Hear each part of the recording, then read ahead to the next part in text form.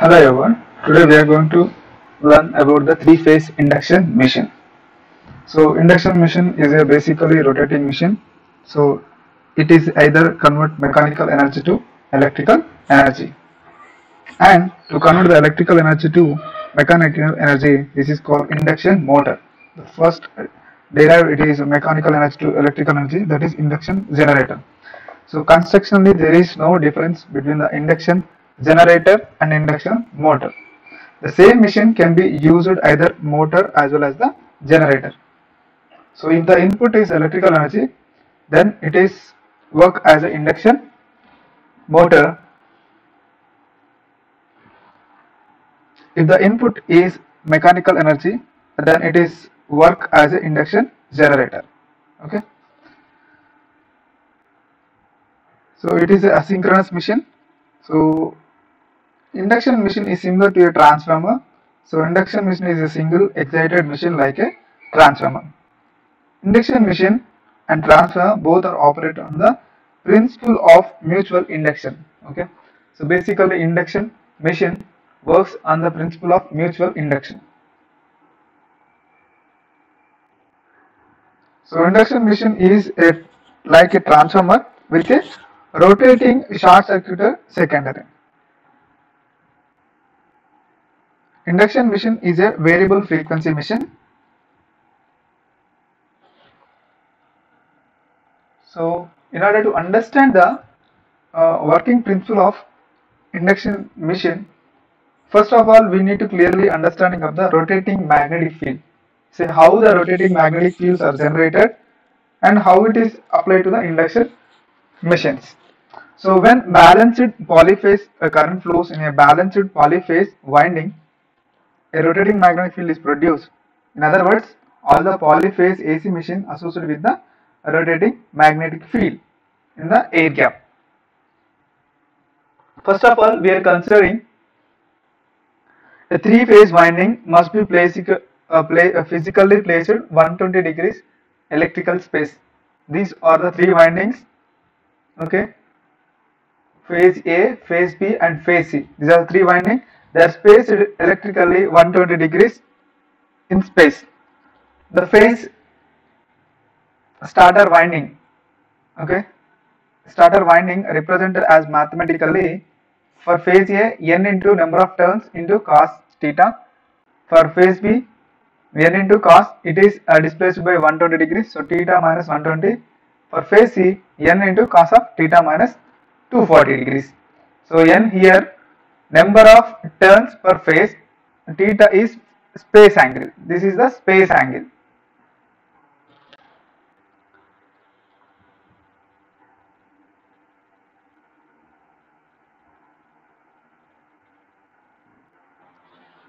So the three phase currents allowed to flow through the above three phase winding. So they must be displaced with the 120 degrees apart each other. Okay. So this phase A current, phase B current or phase C. These are three currents 120 degrees apart each other. This current, these three currents okay flows through the above the three windings. So they are placed on the stator.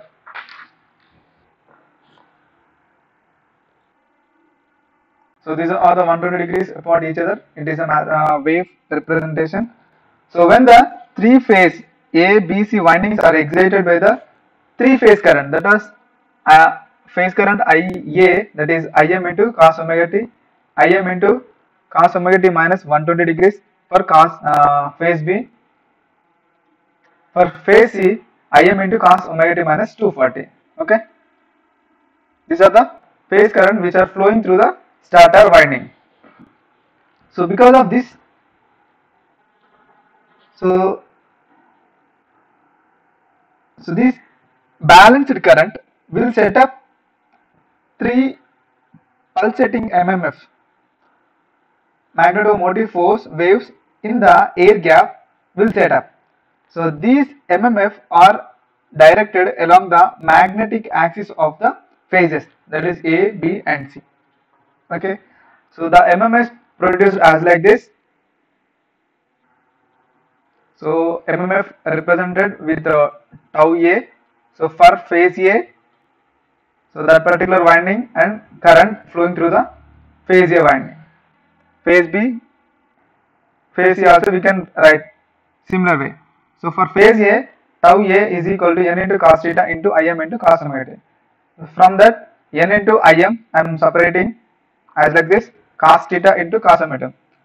So instead of n into Im I am writing Fm. This is the uh, MMF produced in phase A it is maximum value that is Fm. So that is also called peak value of the MMF due to the phase winding.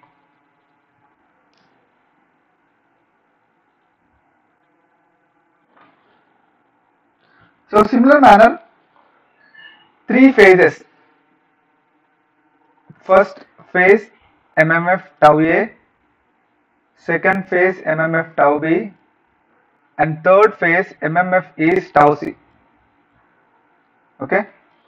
So these are is individual with respect to their own axis but resultant these three individual MMF summation phases sum of the these three will result in resultant MMF that is called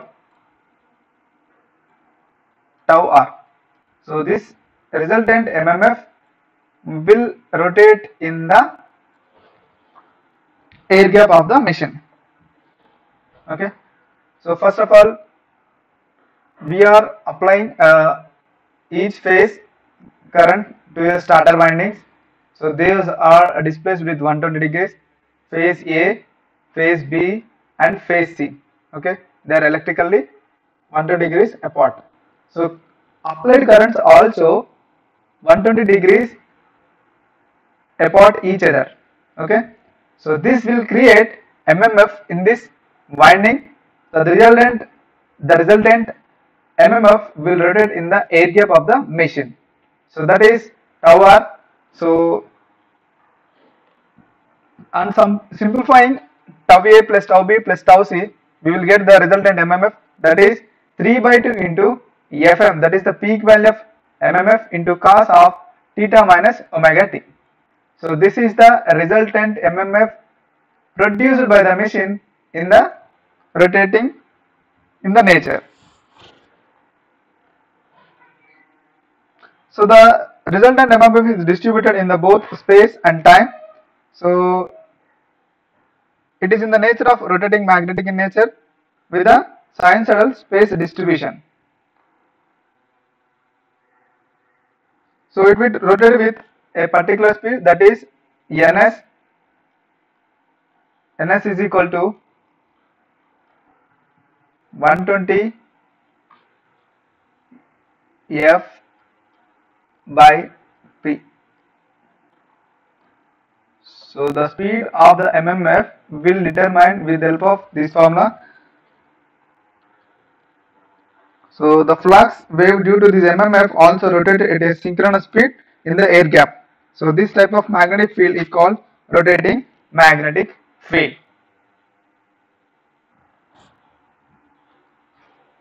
Now quickly on to the construction of the induction machine. So basically induction machine is a AC polyphase machine connected to a AC power grid either in the stator or rotor. So the AC power is in the general the three phase okay but it may also in a single phase. In the both the cases the winding arranged on the part of the machine primary connected to the grid that is the stator should produce a traveling field in the machine that is a rotating magnetic field in the air gap. So first part is a stator parts. So the stator of the induction motor consists of stator frame. So this is the stator frame and the stator core. So this is the stator core in order to stator winding accumulation. Okay.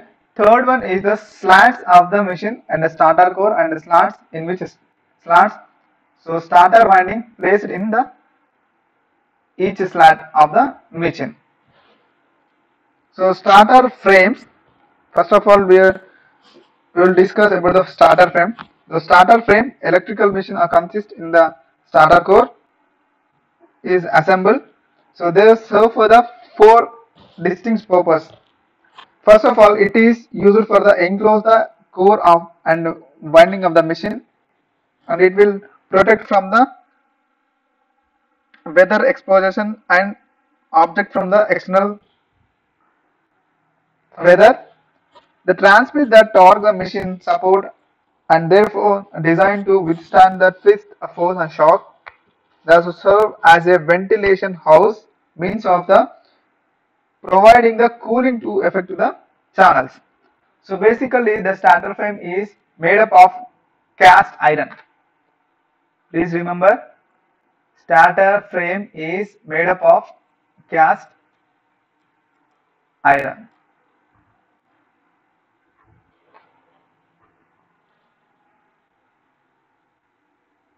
So it's it, it basically provides the mechanical support also support to the stator core and not designed to the carry any stator flux. So in case of DC motor, the yoke carries a magnetic flux. Second important feature of the machine is a stator core. Okay, this is the stator core. So stator core is a stationary part is built up of the high graded alloy steel. So it is basically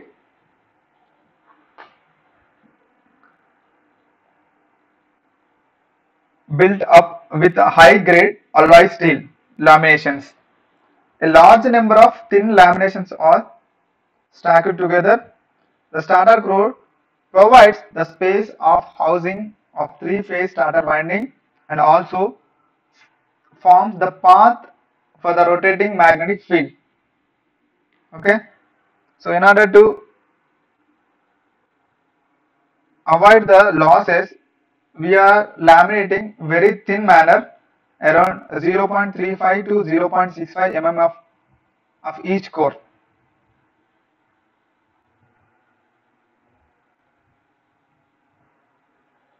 Next, next part is uh, stator slots.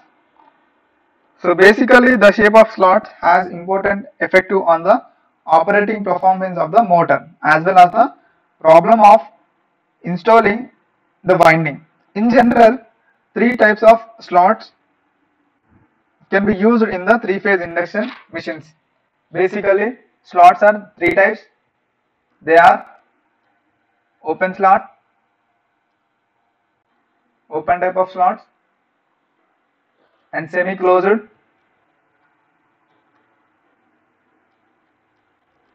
semi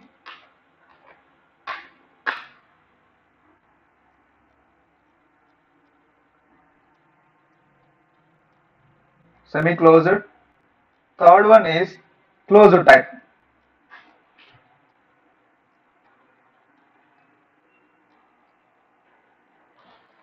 So depends upon the operating machine and leakage flux, we will decide which type of slots we require. Basically in induction type of machine, semi-closed type slots are used.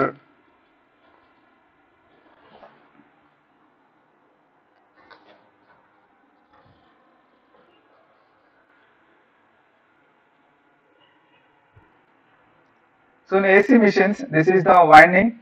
So this term as called as end connection. So this is the active length or active copper. So this only will experience the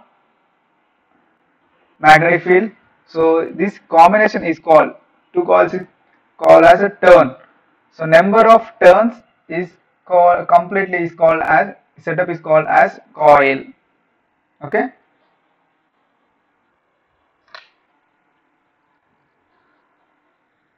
So based upon the rotor construction, the induction motor also classified into two types. They are squirrel cage induction motor and slip ring induction motors. So this motor differs only with respect to the rotor construction. So there is no difference in the stator connection. So for the squirrel cage and slip ring induction motor, the stator connection is same. Okay. So construction features of the squirrel cage machine. So rotor is made up of silicon steel lamination. So cage type construction is shown as like this. So the copper bars are assembled in this uh, rotor with the help of end rings. So this is the shaft. Shaft is made up of silicon steel. So rotor lamination made of thick lamination. So because the rotor frequency is very low that is 1 to 4 kilohertz. So basically in induction motors semi closed type slots are we are using.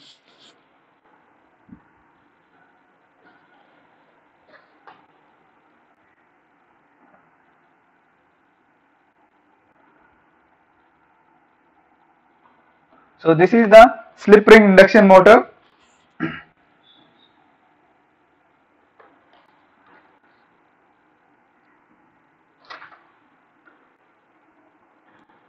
So in slip ring motor, the rotor core is made up of laminated silicon steel. So here it is, it is a stator connection, it is the rotor connection. Rotor we can connect with the external resistance in order to increase the torque of the machine. Okay. So this is the shaft, these are the slip rings, these are the brushes connected to the external resistance.